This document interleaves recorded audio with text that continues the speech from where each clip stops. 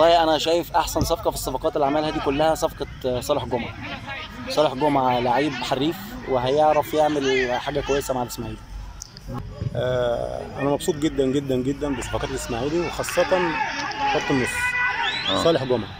على فكرة صالح جمعة من أحسن لعيبة صانع ألعاب بعد عبد الله السعيد صالح جمعة. محمود شبراوي وصالح جمعة وباسم. كان عندنا حتة كان عندنا عقم هجومي هجومي شوية. محمد حسن كويس مركز. عندنا كل المراكز اللي جت بصراحة ما فيش حد فيهم قليل الحمد لله. و- ويعمل موسم حلو كده السنة دي كده ويفرحنا كده عشان خاطر إحنا بنسيب مصالحنا ونقعد نتفرج على الإسماعيلي. كرة في مصر مفيش من غير الدراويش.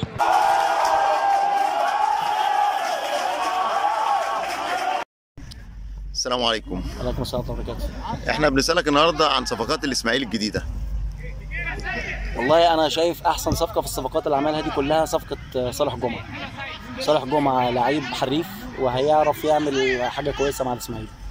دي من أحسن الصفقات اللي هم عملوها بصراحة. هي الصفقات كلها محترمة بس أنا شايف إن هو من أحسن الناس اللي هتأدي مع الإسماعيلي. وهترفع هترفع خط النص يعني هتخليه فوق خالص. لأن السنة اللي فاتت كان الخط النص ما كانش فيه خالص حد بيسلم. يعني ما كانش فيه همزة وصل بين الدفاع والهجوم.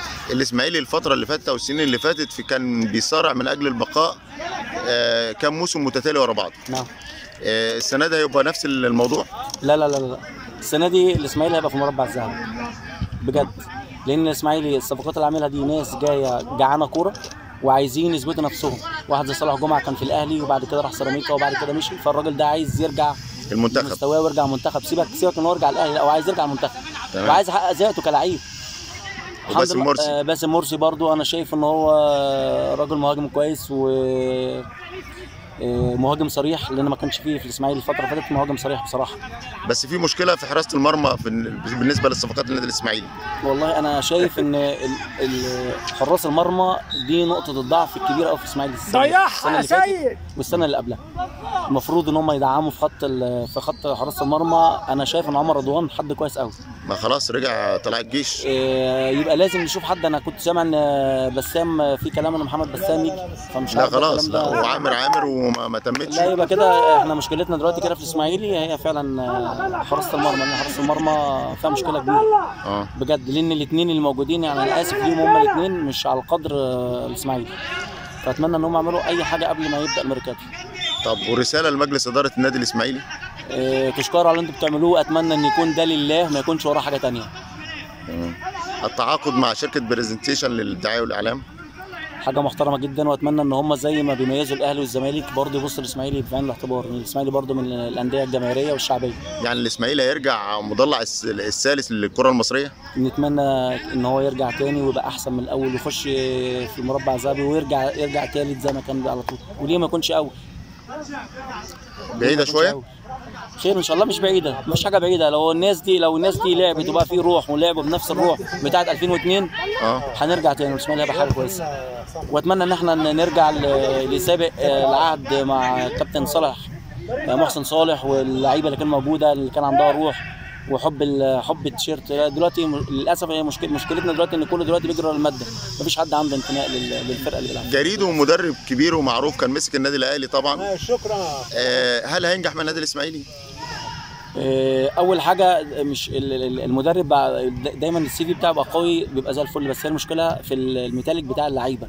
آه. هل اللعيبة اللي موجودة حاليا هتقدر تنفذ فكر الراجل ده زي ما كان بيتنفذ في الأهلي؟ دي اللي لازم ده ده اللي إحنا بنتكلم فيه. ميتاليك اللعيبه هي اللي تقول. فأنا ما أقدرش أحكم لما أشوف الراجل ده في الملعب وأشوف فيه الخطط بتاعه. التخطيط بتاعه إزاي في الملعب الانتشار بتاع اللعيبة إزاي خططه اللي بيلعب بيها. نعرف بس الطريقة اللي بيلعب بيها كمان ده اللي هيحكم على على جريده. فربنا يستر إحنا هنعشم في ربنا ان ان إن الراجل ده يبقى كويس ويبقى إضافة كويسة وقوية لل- لل- للاسماعيلي إن شاء الله. كلمة للكره المصرية عامة. أتمنى إن الكورة تبقى لعب للكورة بس. لكن إحنا دلوقتي للأسف الشديد بقى المال هو اللي طاغي على الكورة.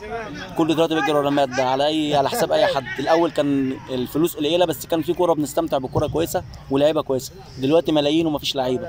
في تحيز من اتحاد الكره لجهه معينة؟ تحيز الكورة دايما دايما بيبقى الأهلي والزمالك. دايما. للأسف الشديد يعني. كلمة أخيرة عاوز تقولها؟ أنا أنا راجل آه، بحب الإسماعيلي. مع العلم إن أنا بشجع الأهلي بس أنا بعشق الإسماعيلي وبحب كورته. أتمنى إن الكورة بتاعت الصمبا ترجع زي ما كانت تاني وأحسن. تسلم ربنا يخليك. صفقات الإسماعيلي. آه، أنا مبسوط جدا جدا جدا بصفقات الإسماعيلي وخاصة خط النص. آه. صالح جمعة. على فكرة صالح جمعة من أحسن لعيبة آه، صانع ألعاب بعد عبد الله السعيد صالح جمعة. وللأسف هو اللي يعني ما اهتمش بنفسه وأهمل في نفسه من الأول. آه، إنما هو مع الإسماعيلي هيبقى حاجة تانية خالص. والإسماعيلي السنة دي الاسماعيلي السنة دي أنا بقول لك خدها مني هيبقى في مكانة تانية خالص غير السنة اللي فاتت. الإسماعيلي ظلم نفسه في وقت من الأوقات؟ طبعا. ظلم نفسه آه، باللعيبة. يعني اللعيبة فكرت تفكيرات كل واحد بيفكر ما بيفكرش في النادي. كل واحد بيفكر يروح الزمالك ويروح الأهلي. آه، يعني عندك ناس كتير مش عاوز أقول أسامي عشان ما, ما يرجعش نتكلم في الموضوع ده تاني. أنا أهلاوي اولا. بس بكلمك بمنتهى الأمانة آه، ظلم نفسه إن اللعيبة كلها بصت لأندية القمة بيراميدز الزمالك الأهلي وكله عاوز بقى مش مشكلة الاسماعيلي عشان كده طالما الإنسان فكر في كده لا هيدي في الملعب ولا هيروح المكان اللي هو عاوزه. طيب آه، جماهير الإسماعيلي مطلوب منها حاجة في الفترة اللي جاية؟ أنا واحد من الناس بقول لك لولا جماهير الإسماعيلي السنة اللي فاتت دي السنة المنقضيه ديت الإسماعيلي كان في مكانه ثانية جمهور الإسماعيلي هو اللي السبب اللي خلى الإسماعيلي في الدوري. التعاقد مع شركة برزنتيشن والشركة المتحدة.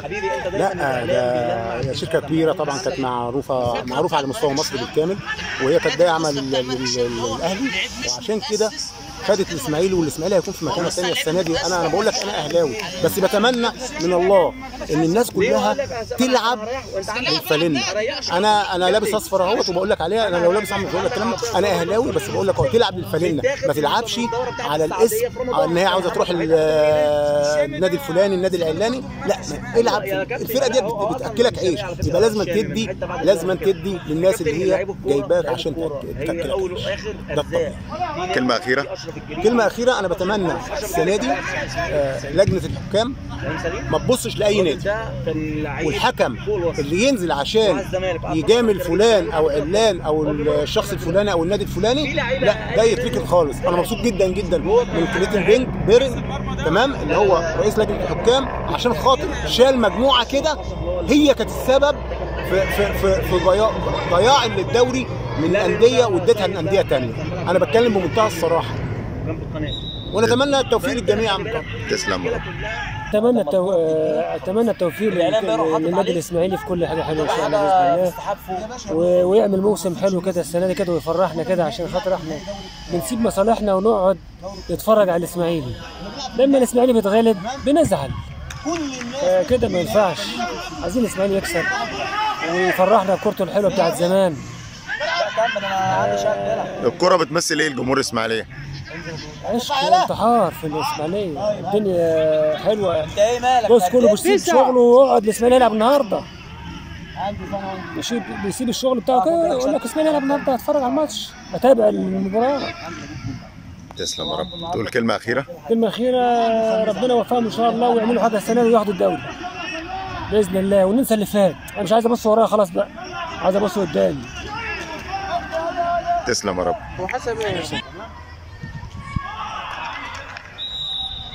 Yeah.